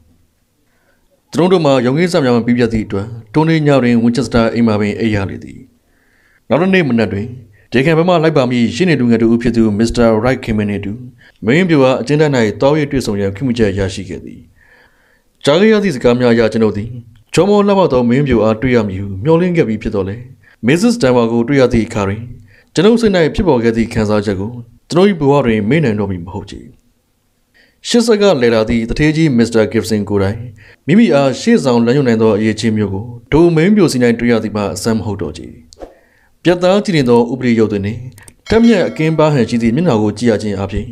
ဒိုမင်းပြိုသည်မကောင်းမှုကိုကျူးလွန်ခဲ့သည့်ထောင်ကောင်းကျိုးကိုသာလောက်ရန်စေစုံမိမြင့်မြတ်သောစိတ်ရှိသည့်မိန်းကလေးတို့ဖြစ်ကြောင်းကိုသိသာနိုင်ပေသည်မင်းပြိုမှာစပင်းအနက်အရက်အမြင်တင့်တယ်ပြပြသည့်ကိုဟန်ရှိသည့်တိုင် မဲနဲ့သောမျက်လုံးကြီးများသည်အမဲလိုက်ခင်ရသည့်တတဝါတကောင်ကဲ့သို့ထိတ်လန့်ကြောင်ဟန်ပေါ်လျက်ရှိသည်ရှာလဟုံလာသည်ဟုသိရသည့်အခါတွင်မူနွားနယ်လျက်ရှိသောသူ့ပေါင်းရင်မှတွေးရောင်လှမ်းလာပြီလေကျွန်တို့ကိုကြည့်ရသောမျက်လုံးများတွင်လည်းမျောလင်းချက်ရောင်ကြီးရတန်းလျက်ရှိသည်ကိုမြင်လိုက်ကြလေသည်မစ္စစ်တန်ဝါသည်၆ချလျက်ရှိသောအတန်ဖြင့်ကျမနဲ့သူ့အကြောင်းကိုတော့မစ္စတာနေဂစ်ဆင်ကကျွန်တော်ကြီးကိုပြောပြီးထင်ပါတယ်ရှင်ပြောပြီးပါပြီမင်္ဂလေး စိတ်ထိခိုက်ခံပြီးတော့ဒီကြောင်လေးကိုပြောပါရင်တော့လေတငယ်မောက်ကိုမြင်ကြတဲ့ကတငယ်မဟာမစ္စတာကက်ပစင်ပေါ်မှာအောစာကြောင်းနေဆိုတာလေသူနဲ့ပတ်သက်လို့တငယ်မမှာမယိုးသားသဘောထားမရှိဘူးဆိုတာကျုပ်ကသိလိုက်ပါပြီဒါနဲ့နေစမ်းမအောင်ဂျူရီရှေ့မှာဒီကိစ္စတွေအားလုံးကိုဘာလို့မတင်ပြရတာလဲကျမစိတ်ထဲမှာတော့ဒီဆွဲချက်မျိုးနဲ့တင်လို့ရနိုင်မယ်လို့နည်းနည်းကလေးမှမယုံကြည်မိဘူးရှင်အချိန်တိုင်းဒီကိစ္စဟာရှင်းသွားပါလိမ့်မယ်သူတို့ရဲ့အင်ရီကိစ္စဟာလေလူသိရှင်ကြားဖြစ်စရာအကြောင်းမလိုဘဲနဲ့ကိစ္စပြီးသွားလိမ့်မယ်လို့ကျမကထင်ခဲ့တာပါ အခုတော့မရှင်းတဲ့အပြင်ဒီလိုနေလိုက်ကမှပြဿနာကပိုပြီးတောင်ရှုပ်လာပါတယ်ရှင်ဒီမဲ့တကယ်မှစိတ်ကူးအဲ့လောက်ရင်နေနေပြကျုပ်တို့ဘက်ကအခုအဲ့လောက်အခြေအနေမကောင်းလာသေးဘူးဟော်ရီကဝတ်လုံမစ္စတာကင်မင်ကိုမေးကြည့်ရင်သိလိမ့်မယ်ဒီတော့ကလေးမကဂွန်းလုံးကျွတ်လွတ်ချင်နေဆိုရင်လို့စီယာရှက်ကိုလောရလိမ့်မယ်ကွယ်တငယ်မအတွက်လောလောဆယ်မှာတိတ်အန်ရမကြည့်ဘူးလို့ပြောရင်ဒါဟာတငယ်မကိုအရက်ဆက်လင်းရကြလိမ့်မယ်ဒီတော့အမှန်တရားရောက်အောင်လို့တနင်္လာနေ့ကျုပ်တို့ကိုကူညီစေချင်ပါတယ်ကျမဘာလို့မှထိန်ချင်မထားပါဘူးရှင် ကောင်းပြီဒါဖြင့်မင်းနဲ့ Mrs. Gibson ရဲ့ဆက်ဆံရေးကဘယ်လိုရှိရဆိုကိုပြောစမ်းပါဦးကျမကတော့အတော်မုန်းတာပဲရှင်မုံတာမှာစပိန်သွေးပါသူပြီးခါးသီးသီးကိုမုံတာပြီးတော့ဒီမိန်းမဟာလုံးမိပြီဆိုရင်နောက်ဆုံးမဲ့မိန်းမမျိုးမဟုတ်ဘူးရှင်သူ့ယောက်ျားကိုချစ်တဲ့လောက်ကျမကိုမုံတာကလည်းအလွန်ပဲအမှန်ကတော့ကျမတို့နှစ်ယောက်ရဲ့ဆက်ဆံရေးကိုသူနားမနေတာပါရှင်ကျမသူ့ကိုလည်းအပြစ်မဆိုးချင်ပါဘူးသူ့ယောက်ျားကိုချစ်တဲ့ယမန်ကပြင်းထန်လို့တော့ သူ့ယောက်ျားနဲ့ကျမတို့ရဲ့ဆက်သဘောချင်းအတွေးခေါ်ချင်းနီးစတာကိုသူကနားမလည်ဘူးရှင်ဒီလိုမှမဟုတ်ရင်လည်းသူတို့အိမ်မှာကျမဆက်နေခွင့်ရအောင်ကျမကသူ့ယောက်ျားအပေါ်မှာဩဇာသုံးတယ်လို့ထင်နေရန်တူပါတယ်အမှန်ကတော့ကျမပဲမှားတာပါရှင်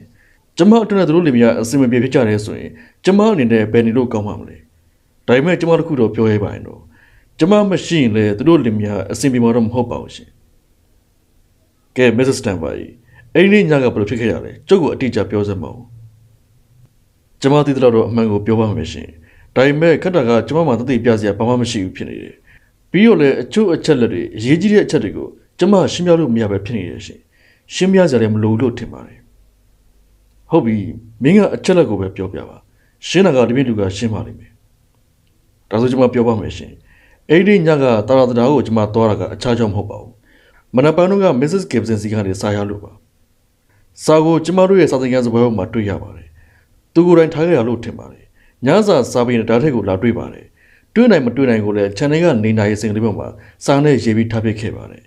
ဒီကိစ္စကိုဘယ်သူမှမသိစေလို့အဲ့လိုရေးရတာပါတယ်။ဘာကြောင့်အဲ့လောက်အလှုပ်ရနေရဆိုတော့ကျွန်မလည်းမသိပါဘူး။ပြီးတော့သူပေးခဲ့တဲ့စာကိုလည်းဖျက်ဆီးပစ်ခဲ့ပါဆိုလို့စာသင်ခန်းထဲကမိခိုးတွေမှာထည့်လိုက်ပါတယ်ရှင်။သူကသူ့ယောက်ျားကိုအတော်လေးကြောက်ပါတယ်။ကျွန်မကတော့သူ့ယောက်ျားကိုအဲ့လိုမလုပ်ဖို့အတွက်မကြမကြာပြောရပါသေးတယ်။အခုဒီစာကိုအတိတ်စိတ်ပေးရတာကလည်း သူ့ယောက်ျားတိမှဆိုလို့တိတ်ကလေးပေးရလို့ပဲကျွန်မကထင်လိုက်ပါတယ်ရှင်။ဒါပေမဲ့မင်းရဲ့ပြန်စာကိုတော့သူကအသေးချာသိမ်းထားခဲ့တယ်နော်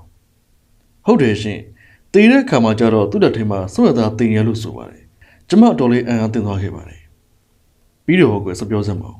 ။ဟုတ်ကဲ့ရှင်ကျမကတိအတိုင်းတရားကိုသွားခဲ့ပါတယ်။သူကအရင်ကြိုးရောက်နေတာရှင်။ကျမကိုသူဘလောက်မုံမှန်အဲ့တော့မှကျမပုံပြီးသိရပါတော့တယ်။ကျမကိုလည်းမြင်ရောအယူမကြီးကြနေတာပဲ။ ကျမထင်တော့သူကယူနေလို့တော့ထင်မိပါတယ်။ယူတဲ့သူတွေဟာမြင်သမျှလူတွေကိုရုံတင်ကြောင်တင်ဖြစ်ဖြစ်ရှိရမဟုတ်လားရှင်။ယူလို့ပေါ့ရှင်။မယူရင်ကျမကိုနေတိုင်းတွေ့တော့ကတော့ဘာမှဖြစ်သလိုအင်ရင်ပြတ်နေပြီအခုလိုတွေ့တော့မှဘာဖြစ်လို့ပြုံးစားကြီးဒေါသထွက်ရမှာလဲသူကျမကိုပြောတဲ့စကားတွေကိုပြန်ပြောတော့ပါဘူးပြောလို့ပြောချင်တော့ပါဘူးသူ့ကိုလည်းကျမမကြည့်ချင်တော့ပါဘူးအဲ့ဒါနဲ့ကျမလည်းခြာကနေလှက်ထွက်လာခဲ့ပါတယ်ကျမပြန်လာတော့တရားထိပ်မှာရိုက်နေကျမကိုချိန်ဆဲကြံနေရိတ်ခဲ့ပါတယ်ရှင်သူ့အလောင်းကိုတွေ့တဲ့အချိန်မှာဘယ်နှမ်းမှတွေ့တာလဲ သူရက်ခဲ့တဲ့နေရာနဲ့ဂိုက်အနေငယ်အကွာမှာတွေ့ပါတယ်မင်းပြန်သွားပြီးမကြခင်မှာအသက်ခံရတယ်ဆိုတော့တနတ်တန်တို့ဘာလို့မကြားမိဘူးလားဘာမှမကြားမိပါဘူးရှင်ဒါပေမဲ့ကျမလည်းစိတ်ထဲမှာကြုံနေရင်ဖြစ်ပြီးကျမခန်းကိုကျမအမြန်ပြန်ပြေးလာခဲ့တာပါဘာကမှအကောင်သတိမထားမိတော့ပါဘူးရှင်မင်းခန်းကိုပြန်သွားရလို့မင်းပြောသွားတယ်နောက်နေ့ထိအခန်းထဲမှာပဲနေခဲ့ရလားမဟုတ်ဘူးရှင်ကျမအပြင်ကိုထွက်ပါတယ်အလောင်းတွေ့ရလို့လာပြောတဲ့အခါမှာကျမလည်းအခြားလူနဲ့အတူပဲအခန်းထဲကထွက်လာခဲ့ပါတယ်ရှင် ဒါဆိုရင်အဲ့ဒီတော့ကမစ္စတာဂစ်ဆင်ကိုတွေ့ရသလားတွေ့တယ်ရှင်ကျမအခန်းထဲကဆင်းလာတော့သူကဓာတ်ထိပ်ကပြန်ရောက်ခါစားပဲရှိပါသေးတယ်ပလိနဲ့ဆရာဝန်ကိုသူပဲအကြောင်းကြားခိုင်းတာပါမစ္စတာဂစ်ဆင်ကိုကြည့်တော့ရောစိတ်ကနေတဲ့ပုံပေါ်ရလားမစ္စတာဂစ်ဆင်ကစိတ်သက်ကြံ့ခိုင်တယ်သူ့ခံစားချက်ကိုဘရောမှအပြင်ထုတ်ပြလိမ့်မရှိပါဘူးဒါပေမဲ့သူ့ကြောင့်ကျွန်မကောင်းချီးသိရတော့သူစိတ်ထိခိုက်နေဆိုကျွန်မကသိပါတယ်ရှင်ကောင်းပြီကွယ်သိအရေးကြီးတဲ့ချက်ကိုရောက်လာပြီနော် မင်းခန်းထဲမှာတွေ့တဲ့ပစ္စတိုကိစ္စဒီသနက်ကိုအရင်ကမြင်ခဲ့ဘူးလားမမြင်ဘူးပါဘူးရှင်ဖျားဝေးပေးကြမ်းပေးပါရှင်တနက်ကိုဘရောမှတွေ့တာလေနောက်နေ့မနေ့မှပလိကရှာတော့မှတွေ့တာပါမင်းအဝတ်စားကြားထဲမှာတွေ့တယ်ပေါ့ဟုတ်ပါတယ်ရှင်ဗီဒီယိုအောက်ဆုံးတက်ကျမအဝတ်စားတွေအောက်မှာပါဘယ်တော့မှရောက်နေတာလဲမနက်ပိုင်းတော့ကတော့မရှိဘူးရှင်မင်းမလို့သိရလဲကျမမနက်ပိုင်းတော့ကဗီဒီယိုကိုရှင်းခဲ့ပါတယ်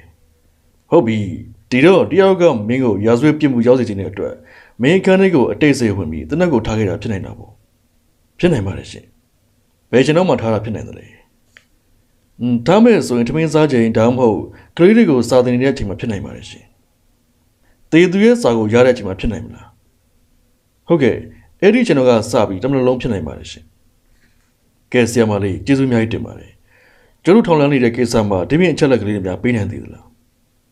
မရှိတော့ဘူးထင်ပါတယ်ရှင်နောက်တစ်ခုကြံသေးတယ်ကွယ်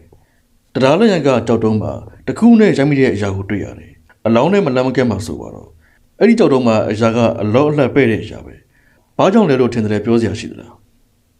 တိုက်ဆိုင်မှုပဲဖြစ်မှာပါရှင်တိုက်ဆိုင်မှုဆိုရင်တော့အတော့ကိုထူးဆန်းတာပဲဗျာအတော့ကိုထူးဆန်းတာတော့လူသမှုဖြစ်တဲ့နေရာဖြစ်တဲ့အချိန်ကြမှာဒီຢာကဘာဖြစ်လို့ပေါ်လာတာလဲဘလို့များကြီးလို့လဲရှင်ဘာများခတ်မိရလဲ ဒီလောက်ပဲရတယ်ဆိုရင်တော့အတော့ကိုပြင်းထန်လို့နေမှာပေါ့ရှာလော့ဟုံကမိတို့များပြောပြောကြည့်ရှာလော့ဟုံဤမျက်နှာရုတ်တရက်တင်းမာသွားပြီးအဝေးသို့ငေးကြည့်နေသည့်အသွင်ကိုဆောင်လျက်ရှိပေသည်ထို့အမူအရာမှာထူးဆန်းသောဉာဏ်ကိုဖော်ပြသည့်လက္ခဏာတစ်ရပ်ဖြစ်ကြောင်းကိုကျွန်ုပ်သိရှိပြီးဖြစ်သည်သူစိတ်၌ဝေခွဲများဖြစ်နေသည့်ဟန်မှာထင်ရှားလွန်ရကကျွန်တော်တို့အားလုံးစကားပြောရဲပဲနဲ့သူ့ကိုသာစူးစိုက်ကြည့်လျက်ရှိကြလေသည်ကျွန်တော်တွင်ရှာလော့ဟုံသည်တရားမှပြုံးနေထားလိုက်ပြီနော်ကဲအိုင်စိတ်လာပြုတ်အမြတ်ပြ ဘာပြောလဲပြစနော်ကြည့်ဘာဖြစ်လို့လဲပြဝက်လုံကလှမ်းရမိလိုက်သည်ကဲဆီယမလေးစိတ်သာချနေပြီတော့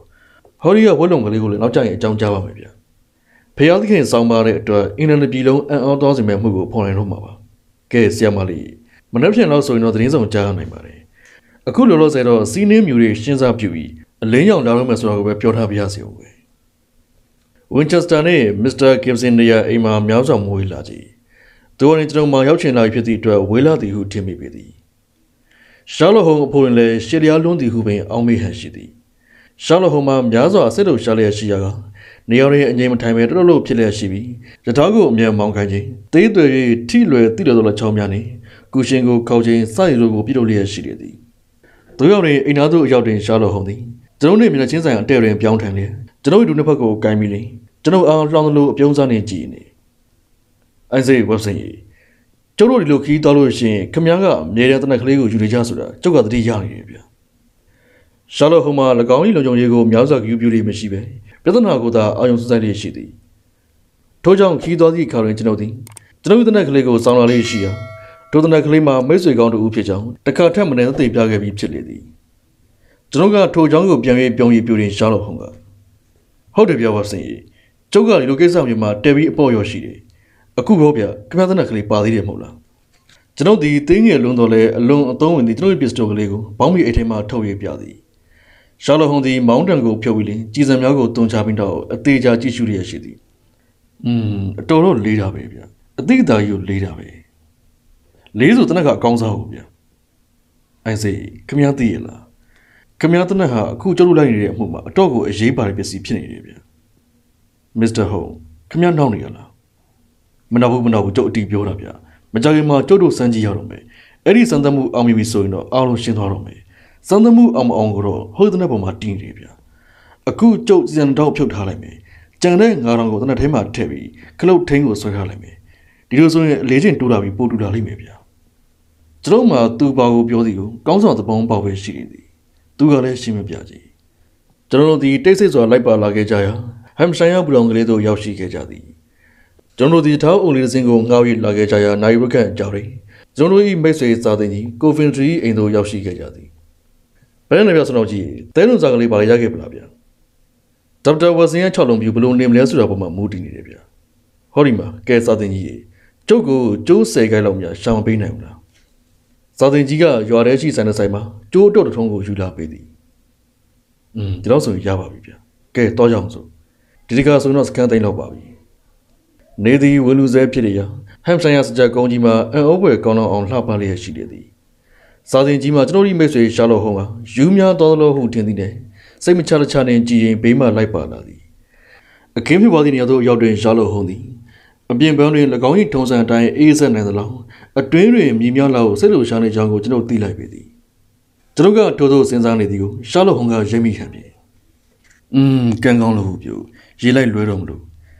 ကျုပ်ကအဲ့လိုမျိုးဆိုရင်ပဂတိညံတဲ့ကိုသိရလူစားမျိုးပဲဗျာဒါပေမဲ့တစ်ခါလေကြိုက်တော့အတွေးလေးချော်လေးရှိတယ်ဝင်းချက်စတာထောင်ထဲမှာကလေးမောင်လေးကိုတော်လိုက်တော့ပြုံးတဲ့ခေါင်းထဲမှာပေါ်လာကြတဲ့ကဒီတိုင်းကိုပြရမယ်တို့ကအခိုင်အမာဆုံးဖြတ်ပြီးသွားပြီဒါပေမဲ့အကင်းပါတိုင်းမကောင်းဘူးလေအကင်းပေါင်းတဲ့အခါကျတော့အတော်အတန်အချက်အလက်တွေကိုလက်မခံတပဲအခြားဖြစ်နိုင်ခြေတွေကိုရှောက်ပြီးရှာရရှိရတဲ့အတွက်မှားသွားလေးရှိရဗျာသို့တော်လည်းအဲသို့တော်လည်းအိုင်စီစူးစမ်းကြည့်လိုက်ကြသေးတာပေါ့ဗျာ ရှောက်လို့ဟုံးသည်တရားစီသို့ရှောက်လာရင်းနဲ့ကျိုးတို့ဖက်ကိုခြောက်လုံးပြူရင်ကြီးလျက်ရှိသည်ဒိုချင်းတွင်ကျွန်တော်တို့မှာအချင်းဖြစ်ရာနေရာသို့ရောက်ရှိခဲ့ကြလိမ့်မည်၎င်းနေရာသို့ရောက်တဲ့ရှားလို့ဟုံးသည်စာသင်ကြီးအကူကြီးဖြင့်အလောင်းလဲသည့်နေရာကိုအသေးချာမှတ်သားလေသည်ထို့နောက်ဂျုံများကမ်းမြများတဲ့သို့လိုက်ရှာလျာနောက်ဆုံးတွင်အတန်ငယ်ကြီးမာသည်ကြောက်ကလေးလုံးကိုတွေ့ရှိရသည်ထိုကြောက်ခဲနဲ့ကျိုးစားတစ်ဖက်ကိုအဖျား၌ချီပြီးလေဓာလျက်မှအောက်သို့တွဲလောင်းချလျာကျိုးပြင်းဆွဲသောကြောက်တုံးသည်ရေပြင်အတက်တွင်လှုပ်ရမ်းလျက်ရှိသည် ဒုနောက်တွင်ရှာလော့ဟုံးသည်တရားလျက်နှင့်ခလန်လန်းအကွာတွင်ရှိသည့်အလောင်းတွေ့သောနေရာတွင်ရက်လျက်ရှိသည်ကြောက်လုံးပြူအားလက်တွင်ကန်လျက်ရှိသည်တရားတစ်ဖက်ရှိရေသို့ကျသည့်ကြောက်ခဲနှင့်ကြောက်လုံးပြူသို့အကြောင်တွင်ကျိုးသည်တင်းလျက်ရှိလေသည်ဒုနောက်တွင်ရှာလော့ဟုံးသည်ကဲတော်လျောဟာဟုအော်၍တနက်ကိုမြောက်ပြီးနောက်လက်မလွှတ်ချလိုက်တော်သည်တကနာအတွင်းမှာပင်အောက်တွင်ရှိသည့်ကြောက်ခဲ၏အလေးချင်းကြောင့်တနက်သည်လွင့်စင်သွားပြီးနောက်တရားလျံကိုချွင်ကနေတိမှန်ပြီးသည်လျံကိုကြော်ရည်ရဲသို့ကျသွားလေတော်သည်တ နက်အောက်သို့ကျသည်နှင့်ရှာလော့ဟုံးသည်လျံအနည်းတွင်ထိုင်ချလိုက်သည်ဝမ်းသာအာရအော်သောအတန်သည်၎င်းမျှော်သည့်အရာကိုတွေးရှိကြောင်းထင်ရှားလျက်ရှိသည်ကဲဒီထက်တိကျထင်ရှားတဲ့ရှိပါဦးမလားအန်စေဝစင်ခမည်းရဲ့၆လုံးပြူကပြဿနာကိုရှင်းပေးပြီးသွားပြီဗျာဒို့သောဆိုကနေရှာလော့ဟုံးသည်လယံအနည်းတွင်ပဲ့ကြနေသည့်ပထမကြောက်ခဲအပဲ့လောက်ရှိသည့်ကြောက်ခဲပဲ့တစ်ခုကိုထိုးရပြသည်ကဲစားသိင်းကြီးဒီကနေ့ညကျုပ်တို့တက်ခုရေးသားမှာပဲအိတ်တော်မယ်ဗျာ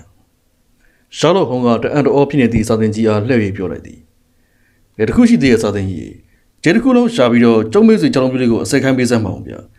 ပြီးတော့အဲ့ဒီနာမှာကြောက်ခနဲ့တွဲပြီးကြည့်ကြတဲ့နောက်တစ်ချောင်းပြူတက်လက်ကိုလည်းတွေ့ရအောင်မယ်ဗျာအဲ့ဒီမိမဟာကိုကိုတက်သေးပြီးလူသက်မှုနဲ့သူများကိုအစွဲခံအောင်လုပ်ခဲ့တဲ့နည်းပဲဗျာမစ္စတာဂစ်ဆန်ကိုတော့မနှက်ပြန်မနှက်မှတွေ့တော့မယ်လို့ပြောလိုက်ပြီးတော့အဲ့ဒီကကြာတော့မှဆီယမလေးကိစ္စအတွက်စီစဉ်ကြသေးတာပေါ့ဗျာ ညနေပိုင်းချိန်တွင်ကျွန်တော်နဲ့ရှာလော့ဟုံးတို့သည်ရိတ်တာတွင်စေးတံကိုစီနှင့်ထိုင်နေကြစဉ်ရှာလော့ဟုံးကအမှုကြောင်းကိုရှင်းလင်းပြောပြလေသည်အိုင်ဇေးဝက်ဆင်တာတော်တရားကဖြစ်ပျက်တွေကိုထုတ်ရေးခြင်းကကျုပ်ရဲ့ရှိပြီးသားကုန်သိက္ခာလေးကတော့ထူးတက်လာမယ်လို့မထင်ပါဘူးအဲ့ဒီတုန်းကကျုပ်စိတ်ထဲမှာလည်းအတော့ကိုခဏနှောက်ရဗျာပြီးတော့ကျတို့ရဲ့လုပ်ငန်းမှာအရေးကြီးဆုံးကစိတ်ကူးညံတဲ့တကယ်ဖြစ်ကိုပေါင်းစည်းပေးကအရေးကြီးဆုံးအချက်ပဲအခုအမှုမှာအပြည့်မှန်ပေါ်လာတာကတရားလက်ရန်မှာရှိတဲ့ကျတို့အပက်ကလေးကအခက်ရပဲဗျာ ဒါပေမဲ့ဒီချက်ကိုကျုပ်ကအစောကြီးတည်းကမတွေးခဲ့မိဘူးတခုတော့ရှိတာပေါ့လေဒီမိမရဲ့စိတ်ကူးကနည်းနည်းပြီးတိမ်မွေးလွန်းနေဒီတော့သူ့အကြံစီကိုခံမရတာမလွယ်ပဲဖြစ်နေတယ်ဗျာကျုပ်တို့တွေ့ခဲ့သမျှတွေထဲမှာတော့အချစ်ကြီးတဲ့ဟာဘလောက်အန်ရည်ကြီးတယ်ဒုက္ခဘလောက်ရောက်ရတယ်ဆိုတော့ကိုအခုလောက်ထင်ရှားတဲ့မှုမျိုးတစ်ခါမှမတွေ့ခဲ့ရဘူးဗျာကြီးရတာကတော့ Mrs. Stanford ဟာသူ့ဖို့ကိုခန္ဓာအပြင်ဖြစ်စေစိတ်ဓာတ်အပြင်ဖြစ်စေပြိုင်ဘက်ဖြစ်တာကိုနည်းနည်းလေးမှရှုစိတ်ဟန်မရှိဘူးဗျာ သူ့ယောက်ကသူ့ကိုအထံမှာဆက်ဆံတာဒီမိမကြောင့်မလို့ထင်နေပုံရတယ်ဗျာဒီတော့သူ့ကိုသူအဆုံးစီမို့သူဆုံးဖြတ်တယ်ဒီလိုကိုကိုတသက်ရဲ့နေရာမှာလေတငယ်မောင်လေးကိုပြုံးနေတရတာတက်ထိခိုက်နေအောင်လို့အကွက်ဆင်ခဲ့တာပဲဒီတော့ဆိုရင်တော့ကျွန်တဲ့ချက်လေးကိုရှင်းတော့ပါပြီလေအကွက်စင်မှုကတော့အတော်လေးကိုရင်တော့ရင်သားပဲဇီယာမာလေးစီကစာဆောင်ကိုရောက်အောင်ကွက်စင်တယ်ဒီစာကိုကြည့်မယ်ဆိုရင်ဇီယာမာလေးကပဲအချင်းပြပွားနေရာကိုမြှောက်ခေါ်တဲ့ပုံစံဖြစ်အောင်လုပ်ခဲ့တာပဲ ဒီစာကိုလူမတွေ့မှဆိုတော့တေးတဲ့ခံမှာတော့လက်ထဲမှာစုပ်ပြခဲ့သေးရဲ့ဗျဘလောက်တောင်ရိရလုံးတယ်ဆိုတာအဲ့ဒါကိုသာကြည့်ပြီးတော့အမှန်ကတော့အဲ့ဒီချက်တဲ့နဲ့တင်အစောကြီးကလေးကကျုပ်ကတဲလုံးစာကောက်ခဲ့ဖို့ကောင်းတာဗျပြီးတော့သူကသူ့ယောက်ျား6လုံးပြူကိုယူလာတယ်သူ့အိမ်မှာကခမည်းသိတဲ့အတိုင်းပဲလေတနက်ကမျိုးစုံရှိတယ်မို့လားအဲ့ဒီထဲကချောင်းပြင်းလက်ကိုယူလာတယ်အဲ့ဒီနေ့မနက်မှာကြာတော့လက်ကိုကြီးစံတောင်းထုတ်ပြီးဆီယမလေးရဲ့ဗီဒီယိုမှာသွားပြီးထားတယ်ပြီးတော့ဓာတ်ကိုသွားတယ်ဓာတ်ကိုသွားပြီးသူ့လက်မှာပါတဲ့နက်ကိုဘ လို့ဖြောင်းမယ်ဆိုတော့ကိုစီစဉ်နေဗျာသူနဲ့ချိန်ခဲ့တဲ့နေရာကိုဆီယမလေးအရောက်မှာဆီယမလေးကိုဆဲဆူရွရွပြီးဆီယမလေးပြန်လို့အတန်မချမ်းနိုင်မယ့်နေရာကိုရောက်ရောကိုကိုပြစ်တက်ခဲ့တာပဲဗျာအခုတော့ကွင်းဆက်တွေအားလုံးကိုစက်မိသွားပြီတန်ကြိုးကွင်းကလုံးကဟောက်ခွဲမရှိတော့ဘူးဗျာဆက်ဆက်မိသွားပြီရေအိုင်ကိုဘာဖြစ်လို့ပတ်ပြီးမချသလဲလို့သတင်းစာတွေကရေးကြမှာပဲဒါပေမဲ့ဗျာတခိုးပြိမထိုးဝင်ထားသလိုဖြစ်ပြီးမှဝေဖန်ရတာတွေကလွဲပါတယ်လေ ပြီးတော့လေကျူပင်ကိုင်းမွေတွေဖုံးနေကြတဲ့အန်လုံးကိုဖဲ့ထုတ်ပြီးတနက်ကိုရှားမယ်ဆိုတော့လွယ်တဲ့ကိစ္စမှတ်လို့ဗျာအဲ့ဒီနေရာကိုလည်းသိတယ်တနက်ရှိမှနဲ့သိရလို့အသေးချဖို့သိတော့ဟုတ်တာပေါ့လေကဲ IC website ကျိုးတို့ကတော့ထူးခြားတဲ့မိန်းလေးတဦးနဲ့ကြောက်စရာကောင်းတူဦးကိုကူညီလိုက်ပြီဗျာအနာဂတ်မှာသူတို့ရဲ့အရေးချင်းတစ်ခုကိုပေါင်းမယ်ဆိုရင်တော့လောကသင်ခန်းစာတွေကိုသင်ကြားပေးရလောကကြောင်းခန်းကြီးထဲမှာမစ္စတာနေဂစ်ဆင်ဟာသင်ခန်းစာတစ်ခုခုတော့ရတန်ရကောင်းပါရဲ့လို့မျှော်လင့်ရတာပဲလေဗျာ။ နောက်สิ่งရဲ့ပြည်သူများအားလုံးကိုကျေးဇူးအများကြီးတင်ရှိပါတယ်ဗျာ။ကျွန်တော်ကတော့တင်ဆက်သူကြောက်သူလိုက်ပါ